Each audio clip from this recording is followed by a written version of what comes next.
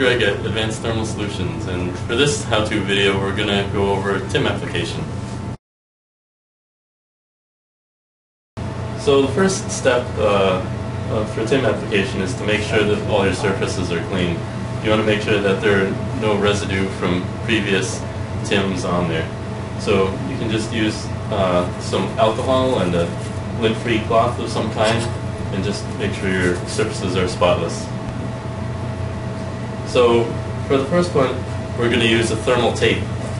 Now this tape is a Chomerics uh, product, and it's uh, and you can cut it with scissors or an X-Acto knife. And you just take it off the backing, and you center it on your heatsink or wherever the component is, and press it down firmly and make sure you get all the air bubbles out because air doesn't conduct heat well, as you know. Then when you're ready, you just take off the backing on this side.